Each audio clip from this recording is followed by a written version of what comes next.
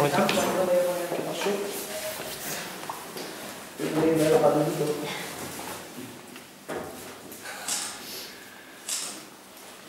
Vale, porque estamos valoración del partido como siempre. Bueno, un partido, como habíamos visto en la previa, eh, como habíamos dicho en la previa, que iba a ser muy, muy disputado.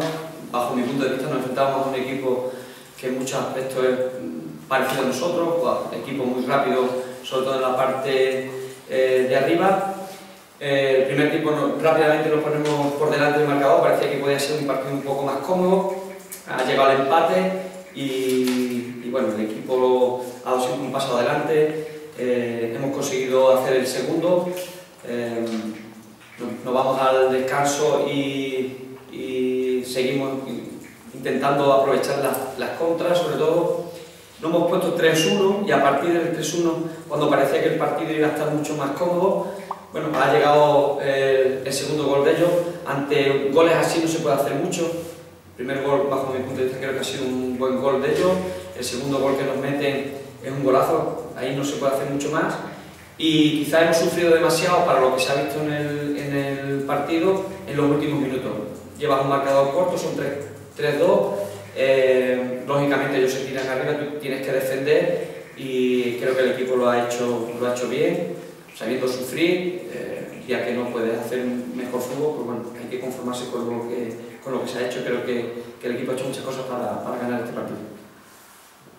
¿Qué sensación le ha dado el San Roque? A mí me ha gustado, ya lo dije en la primera vuelta cuando nos enfrentamos a ellos, que era un equipo eh, muy rápido, sobre todo de centro campo en adelante, con jugadores muy desequilibrantes en el uno contra uno, como Mustafa, como Son.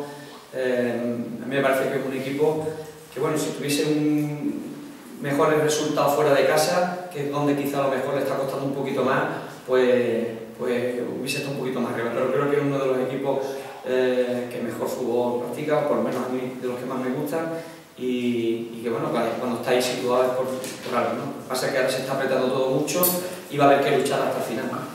No sé si tienen noticias de Salvi, bueno, también me gustaría que eh, explicaran por qué el descanso Javi Sánchez se ha cambiado por Pues muy sencillo, porque tiene cinco, tenía tarjeta amarilla, eh, era su quinta tarjeta amarilla, yo sabía que en el segundo tiempo pues, no iban a castigar, si nos quedábamos con este jugador, con Javi, no iban a castigar eh, al jugador, con Mustafa, le iba a buscar y para no quedarnos con un jugador menos, algo que nos sucedió el día del, del Sevilla Atlético, pues hemos tratado de, de manejar esa, esa, situación.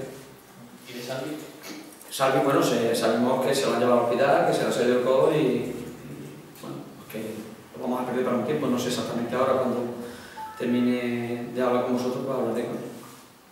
Bueno, una vez llegado a los 43 puntos, ¿se mira arriba o se sigue mirando? Una vez que llegamos a los 43 puntos, faltan para llegar a los 45. Todavía no estamos salvados, estáis viendo cómo los trabajos gana todo el mundo. Entonces hay que seguir trabajando. Este equipo se hizo para salvar la categoría y todavía no la hemos salvado. Entonces, hasta que no la salvemos, pues no hablaremos de otras cosas.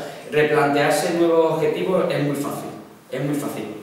Sobre todo si salvamos la categoría, porque son objetivos buenos, son cosas buenas. Pero hasta el momento no lo hemos hecho, entonces vamos a seguir trabajando. Queda todavía. Gracias. Gracias. Gracias.